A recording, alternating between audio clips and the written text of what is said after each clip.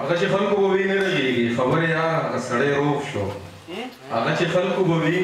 نه رغېږي خبر یار هغه سړی روغ شو اوس ستا په نوم اورېدو نه پوهېږي روغ شو صاحب شاه صابر صاحب دغه راغی یو نظم یې راته رایادېږي پوښتنه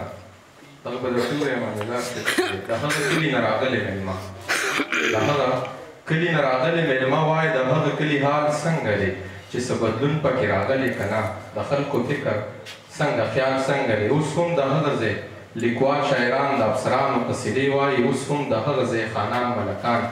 ځان درنوي خپلې درنې وایي اوس هم د هغه ځای غریب دله دی په ټوک ډوډۍ پردۍ حجرۍ ساتي په شاباسي باندې مرګونه کوي. په شاباسی باندی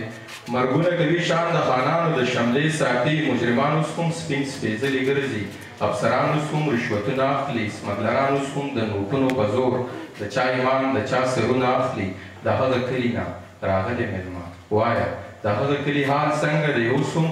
هلته کې اوس هم د عاشق زندګي په غم لړلو اسوېلو کېږي، اوس هم د مینې د مئین زندګي په فریادونو په زبېرګو کېږي، اوس هم د هغه ځای د ښکلو فرقه د عشق ابود غواړي، بهبود غواړي د مئینانو نه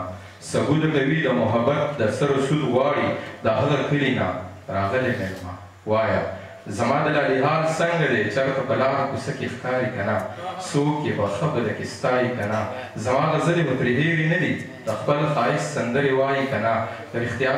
زما هغه ياران سنګه دی د محبت په لاره سم دی کنه د غيرت اور خو يی مړ شوی نه دی په مينه هغسی محکم دی کنه د هغه کلی نه راغلی ميلمه وايه د هغه کلي حال څنګه دی چي څه بدلون پکي راغلی که نه زما خواري خو اوبو وړې نه ده زما خواري خو اوبو وړې نه ده زما خوارۍ څه ځای نيولی که نه هغه تودې جذبې سړې خو نه دي ما بلې کړې ډيوې مړې خو نه دي د سيف شاه صابر صيب دغه نظم